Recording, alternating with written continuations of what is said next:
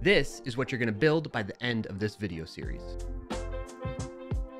Welcome back to the series on how to build a Discord bot. This is the fourth and final video in the series focused on deployment and hosting of the bot. In the past, we set up the bot, we built out logic for it, and we set up a database to persist data beyond just in memory. And now we're here to focus on, instead of running the bot locally on our machine, we're gonna deploy it somewhere.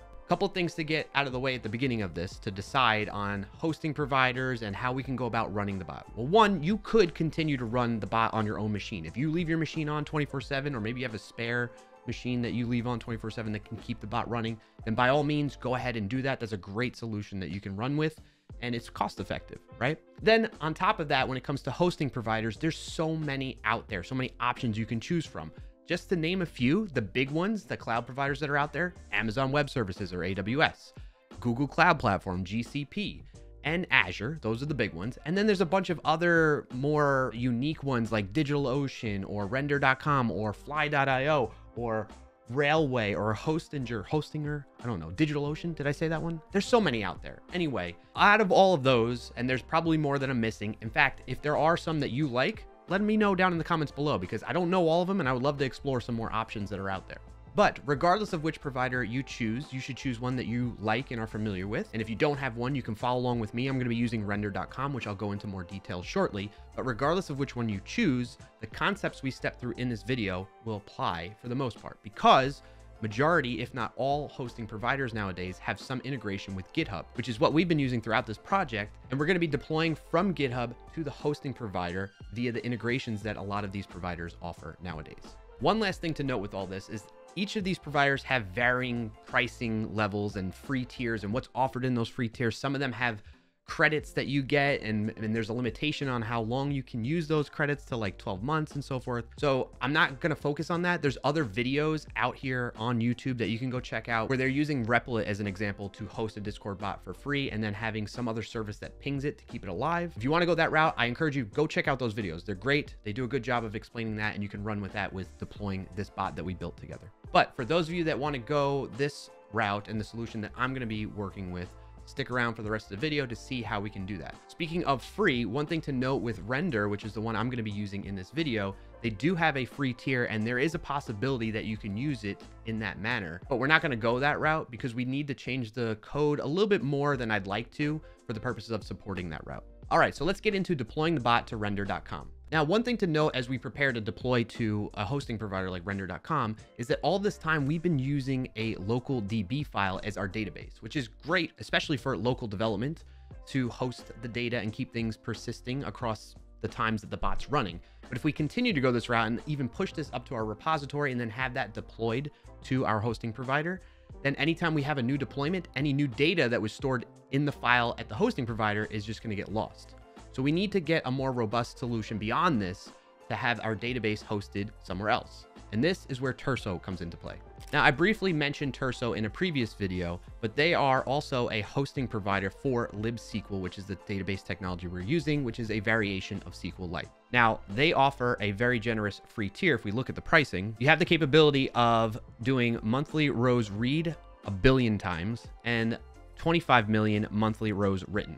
Now with a bot like what we've built here, the Wordle bot, you're likely not going to hit these limitations within the free tier because you're not going to have that many people playing the Wordle game and sharing the results. Maybe you will. If that's the case, then you're probably going to have to move up to a paid level. But for our purposes of this video, we're going to be using the free tier. So the next step here is for us to sign up for a free account. I personally just use my GitHub account, but you could use Google or go the email address with username and password approach if you'd like. Once you're signed up, you should see a view in the dashboard or overview like this over on Turso's website. You want to click on the databases button up here. And the first thing you're going to need to do, which I've done already, is probably create a group. You can give it a name, choose the fly.io hosting provider for that and that purposes, and then whatever location you prefer that would be closest to you and most of the people that are using are part of your community in your Discord server. And then click create group. After that, you're going to click on create database in the top right hand corner. You're going to give it a name.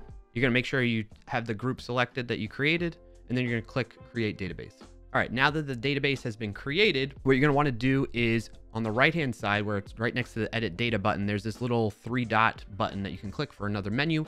We need to create token. So select that button right there. Now you could choose the expiration for it to be never. I'm going to choose one day just for the purposes of this video, but make sure you choose whichever one you feel comfortable with. If you choose one to have an expiration, just note you're going to have to update that in the hosting provider whenever the this one expires. So I'm going to go with one day for now. And then for access, we need read and write access to the database. So we make sure that that is selected, which is on by default. Then you can click on create token.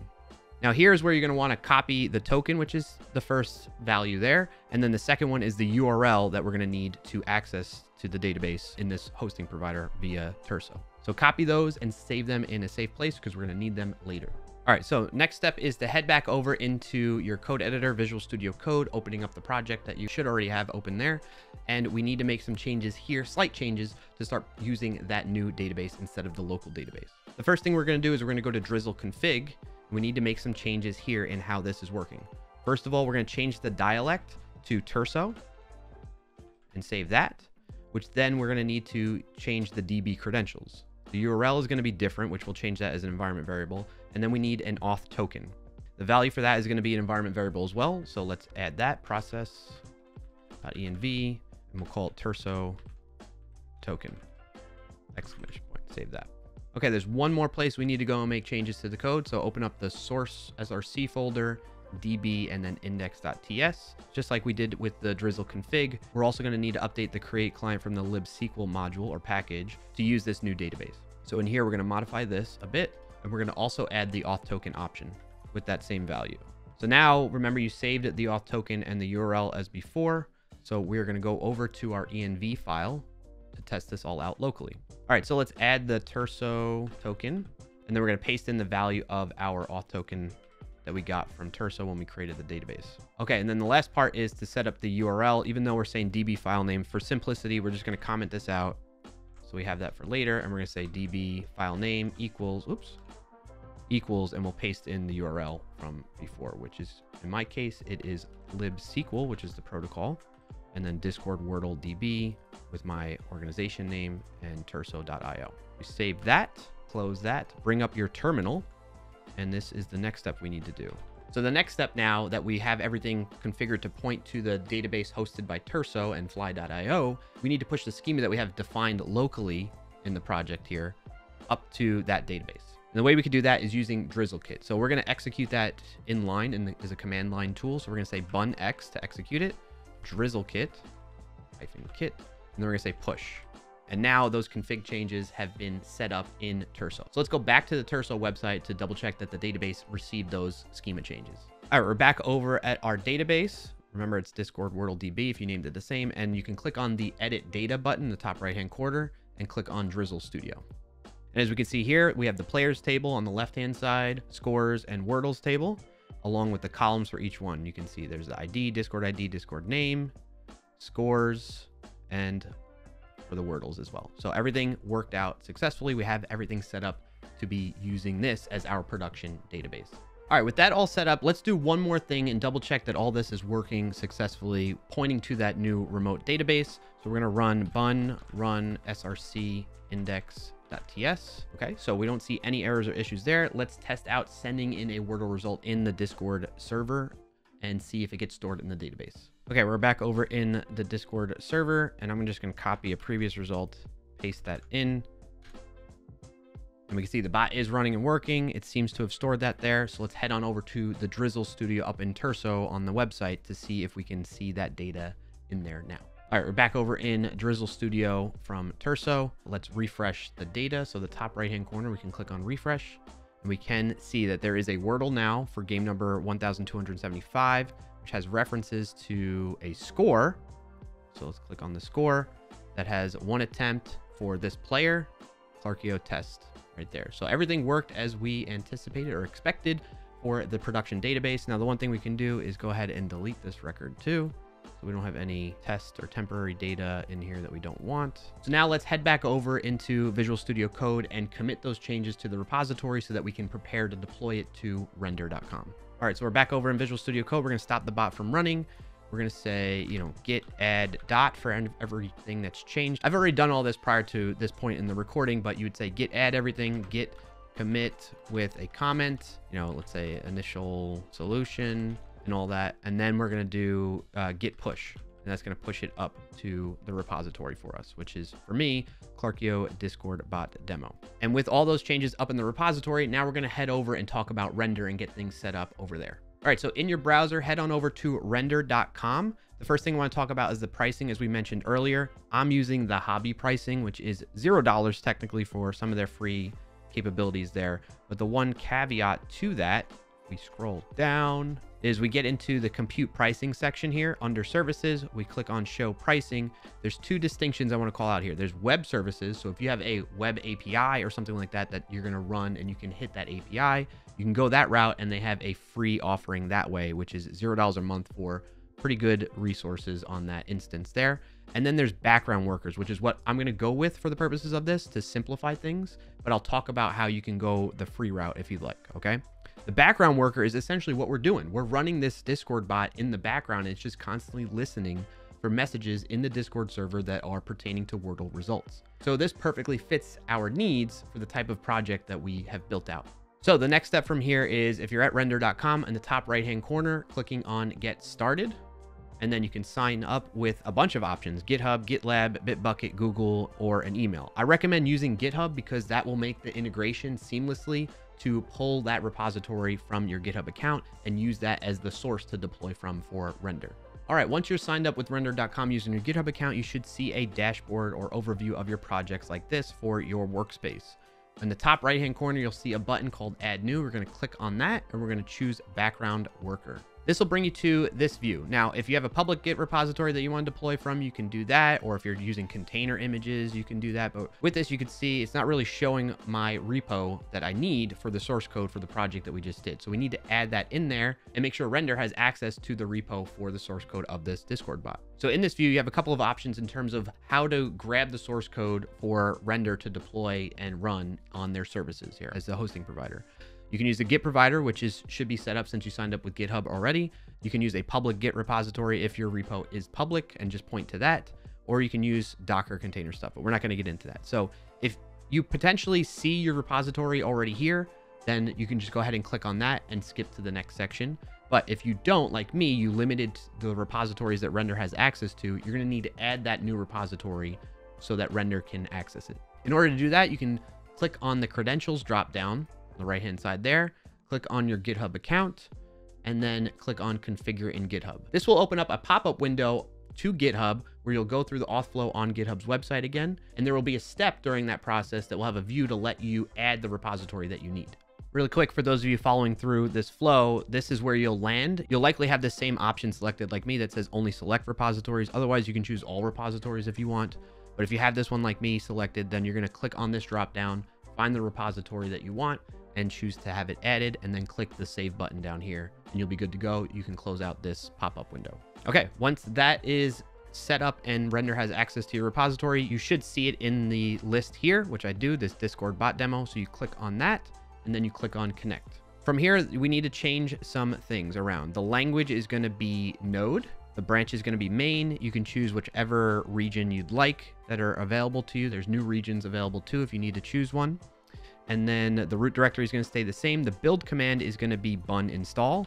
And the start command is what we've been running all along. Bun run src index.ts.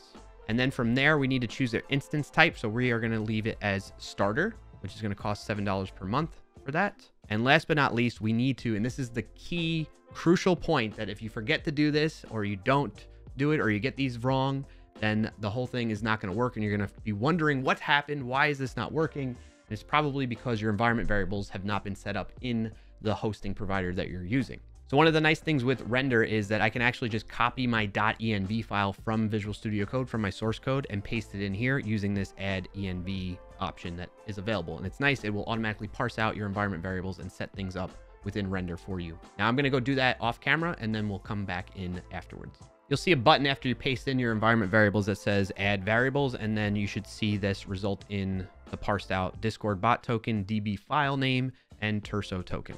Once we're done with that, we're going to click on deploy background worker to get things going. All right, so this will take a few minutes to go and pull the source code from your repository, run the bun install, and then actually start running the application for you with bun run. So we'll pause here and come back to when this is all done. All right, so at this point in time, the whole deployment process has finished. You can see the logs of what happened there. It ran the bun install. It did the build and then uploaded the build result to the hosting provider and then started running source index like that. We can see our log messages from earlier whenever we were running it locally is the same, logged in as WordleBot 9389. So now we can go and test things out. All right, back over in our Discord server where we've added the bot, we can copy and paste this in again and we should see a response. And we do. It is working. Let's double check that the database received the results from the bot running on render.com now instead of our local machine. All right, back over in the Drizzle Studio running on Turso. We'll refresh the database again. And we do indeed see that it is working. We have the Wordle added in there for 1,275. A score was recorded and the user was created. The player was created rather from the Discord user. All right, so that's our bot complete and running in production with a production database using Turso and libsql hosted on render.com using Bun, Drizzle ORM, and all that fun stuff. And I hope you feel accomplished with doing that. Now, if you know of other hosting providers that could be run like this for free, I'd love to learn more about the options that are out there that I might not be aware of. So please feel free to comment below to let me know what ones you like and tend to use yourself. Now, I mentioned earlier too that if you wanted to, you could go a free route with render.com. So let me very briefly show you that, and then we'll close things out for this series. All right, you may recall that when we were looking at the pricing model that Render offers a $0 per month web service option. With that, you need to have an API or something that's running on a port that Render can detect and keep it up and running in that way. So what you would need to do is create a, inside the SRC folder, create like a server.ts file and use whatever web framework you would like to spin up a dummy API, like a Hello World API. You could use Hono or Elysia JS. If you're continuing to use Bun, they're great web frameworks that you can use and have an API endpoint that you can then use and have render understand that this needs to be up and running as a web service. Now, the one caveat to that though is render will shut down the service or make it go idle whenever there's a long period of inactivity. I forget exactly what the duration is, but something around a, a, a few minutes or so. So what you can do in that situation is what you'll find in other videos on this topic of building and deploying a Discord bot for free, which is set up some type of service that will ping your API on a periodic basis to keep it alive and active and running. So you can go that route if you'd like. I'm not going to go and demonstrate that, but I wanted to at least point that out as an option if you want to stay within a free